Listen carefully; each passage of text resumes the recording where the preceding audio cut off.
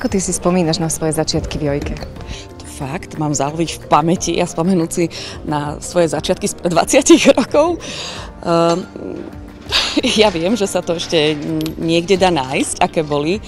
To nech posúdia ľudia sami, kam sme sa všetci posunuli ale jasné, že si veľmi dobre spomínam na úplne svoje prvé vysielanie, kedy by sa mi človek nedorezal ani krvi, keď som si to trošku pomýlila, ten šport s Hviezdoslavovým Kubínom, ale veľmi rýchlo som z toho vytriezvala, lebo našťastie som mala doma okolo seba ľudí, ktorí mi povedali Lenka, šport, rýchlo.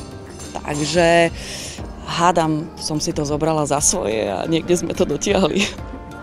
Okrem toho športu si teda bola tvárou aj iných projektov. Na tie ako spomínaš?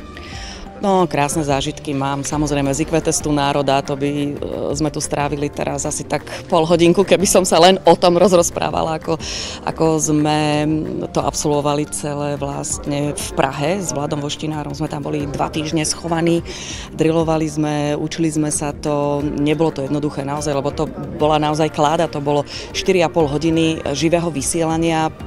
To som predtým ani nechyrovala o niečom takom.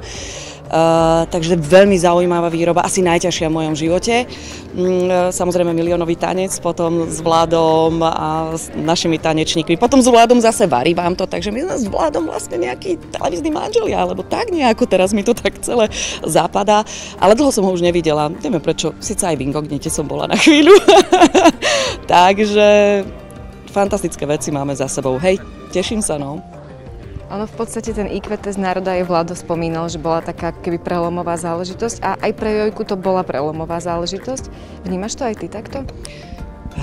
Vieš, s odstupom toho času asi áno. Vtedy som to tak nevnímala, aj keď je pravda, že v takom strese som pred uh, žiadnym iným prenosom nebola ako vtedy, keď som sa zamkla na toalete a nechcela som výjsť. Takže nikto ma odtiaľ nevedel dostať a vyšla som, až keď prišiel režisér, lebo nás na škole učili, že mamička a režisér majú vždy pravdu. Takže jeho som jediného uposlúchla a vyšla som e, z toalety. Ale naozaj, že e, taký stres som nemala asi nikdy v živote ako vtedy.